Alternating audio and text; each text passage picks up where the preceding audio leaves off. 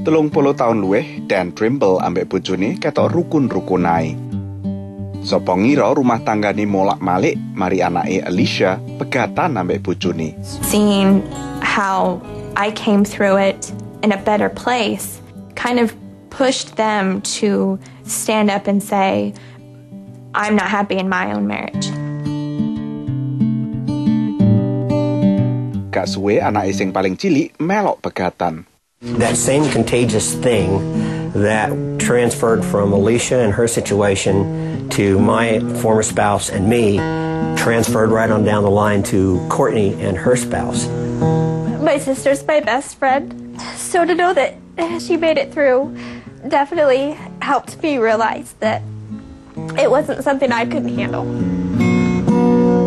Nek wong teko ning kawinan biasane kabeh padha ndongakno ben sing kawin iso langgeng pernikahane.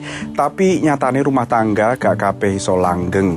Bahkan menurut penelitian, bila seseorang itu kenal dekat dengan orang yang pernah cerai, maka kemungkinan dia juga ikut pegatan munggah 1,50%. Menurut sebagian pengamat, memang faktor keluarga dan teman dekat sangat menentukan. The spreads in more or less the same way. When one person experiences divorce, it gives the people around them information about what that's like.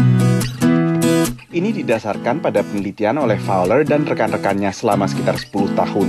Banyak hal seperti kebiasaan merokok, minum alkohol, atau makan berlebihan juga ditularkan oleh orang dekat.